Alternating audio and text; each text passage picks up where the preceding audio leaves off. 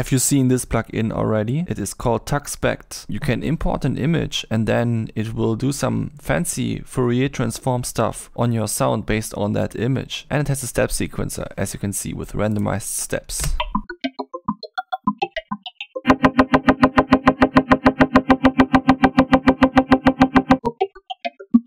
And I want to try something special. I have a folder with mathy images and I just want to throw it at the plugin and see what happens because that's what I always do when plugins have something with images.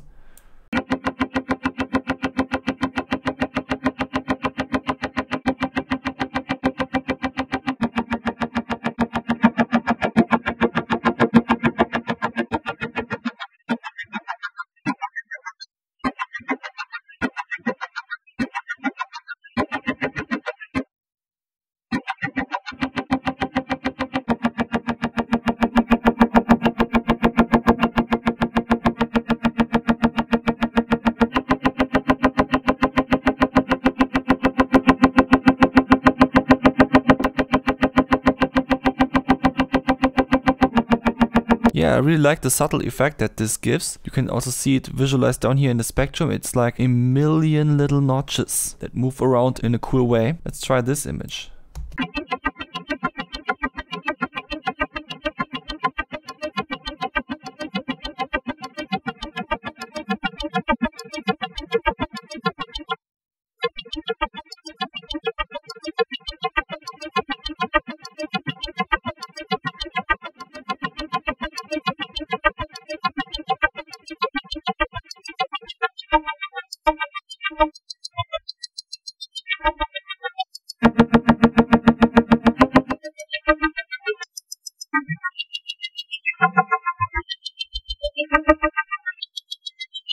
Okay, I still have to find out what this is good for. Apparently the first one makes it slower, n times slower than whatever this thing was set to. But what does power do? Something about the magnitude of the frequency response, I think.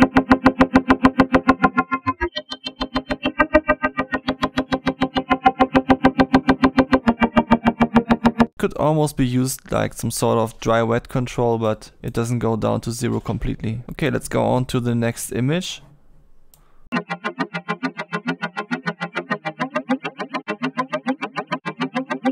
It kind of lacks a full thing control. Like we have one half, but I want to have just one. You can also use quarter notes or any other things. But when you're into the free mode, you have to kind of nail this drag and that's just impossible.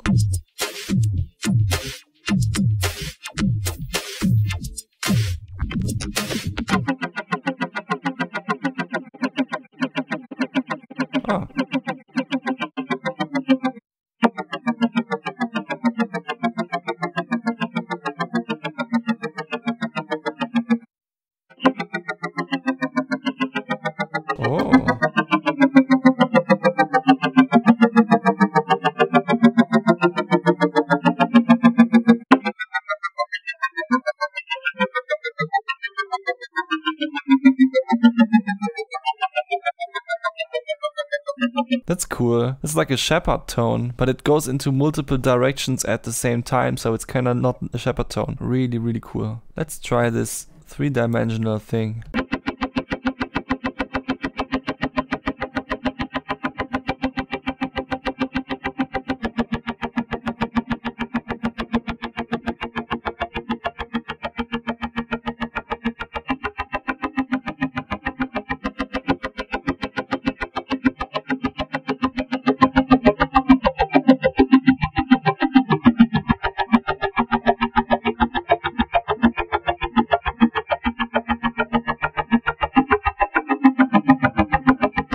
Okay, so turning up the duration bar is definitely very useful in order to get a feeling for the kind of shapes that emerge from the image in the FFT. Turning up power just makes that even more pronounced. And also on top of that, you can turn this into black and white mode to make it only react to the outstanding luminance parts.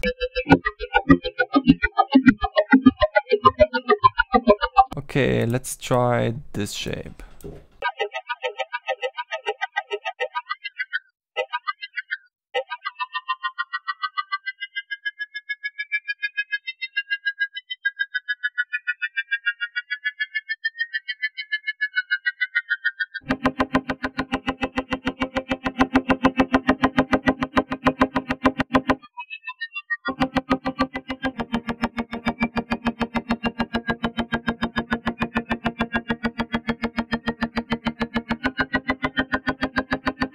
Now this is also an interesting setting because we still hear the dry signal, but we just also hear how it carves out these resonances from it. This one has some not too linear shapes.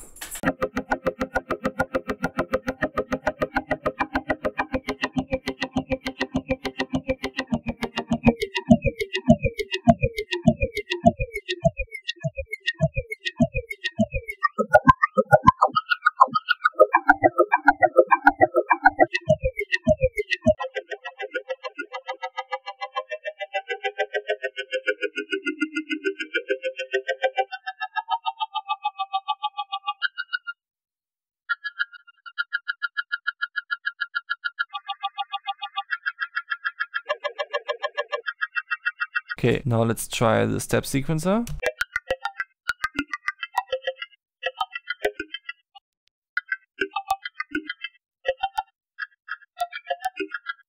Oh, I don't understand why it crackles a little bit now. Didn't do that before.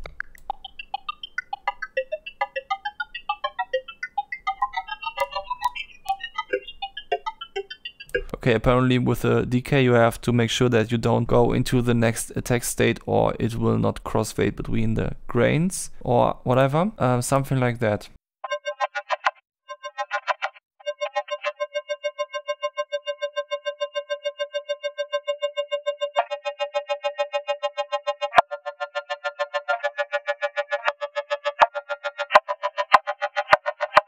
Sick.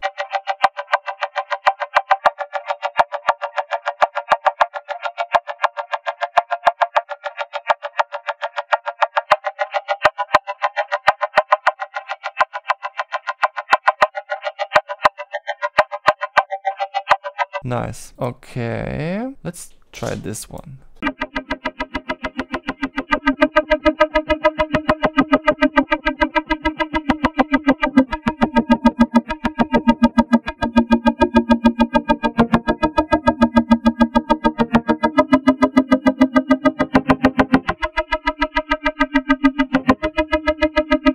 Pretty cool because it's like changing the width of these pseudo bandpass filters. Yeah, really cool sound. Really interesting. What does the moon sound like?